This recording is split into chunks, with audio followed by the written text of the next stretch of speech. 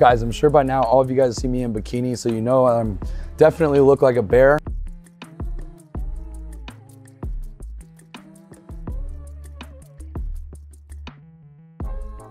But one thing I am not is not a leather daddy. So when it comes to riding, I'm not about to get dressed head to toe in leather. And that is the reason why I look to our most traditional designs like a classic coach's jacket. And so what we do for perfect layering for riding, made the neck larger than anyone else's on the market so we can perfectly layer a hoodie underneath it, make sure that we have pockets on, on the sides just for a nice traditional look, and then add the interior pockets as well. We're gonna have an extended arm just like everything else. So when your hands are up on your bars, wherever those bars may be in any different direction, they're not gonna be riding up on you and we'll be looking perfect every single time. And this is the thing guys, nobody likes getting slapped in the face.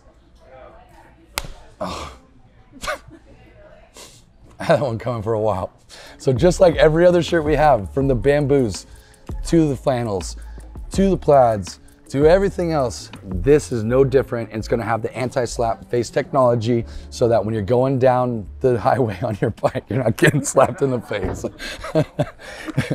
Guys, thank you for shopping with Dixxon. It's always a good time. Don't get slapped in the face.